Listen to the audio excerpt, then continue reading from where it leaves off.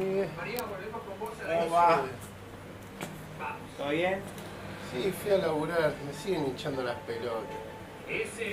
¿Cómo fui a laburar recién hinchando las pelotas? No, me siguen hinchando las pelotas. digo. ¿Por qué?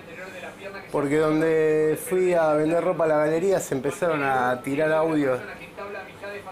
Empezaron a decir cosas que estaban en audios de cosas que dije yo.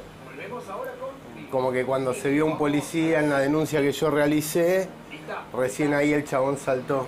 Y después se pusieron a hablar de que había un chabón cornudo que estaba celoso, persiguiéndome, como que si un policía estuviera Atrás de él. hinchándome las pelotas porque la verdad que la policía me hincha las pelotas porque hubo una cama política. Tengo los porteros del edificio que están ahí todo el día operando.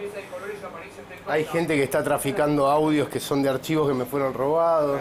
Ya tengo la bola llena, yo estoy laburando y los demás están hinchando las pelotas, ¿me entendés? Todos los programas de radio son copia de laburo mío. Ya me cansa, me- de verdad me hincha las bolas. Me hincha las bolas. Yo estoy tratando de laburar, estoy tratando de hacer las cosas que tengo que hacer y los demás están rompiendo las pelotas. En plena etapa del macrismo, o sea. Entonces, ¿cuándo empieza el verso de quién es funcional al macrismo? Ahí lo tenés Pero clarísimo. para eso tienen que levantar a todos los que están este, Son todos unos tránfugas, hermano. Son todos tránfugas. Son todos tránfugas.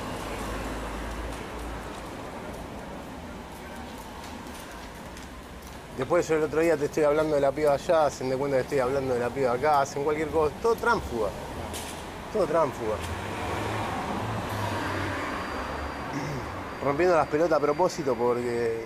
Nada, porque están en la joda, están en la joda política, están en la joda de la guita buscan impunidad y buscan vengarse de, que les quité la careta, básicamente, no de algo que le hayan hecho. Lo, lo que les cayó mal es que les quité la careta a todos como sistema político y sistema de prensa.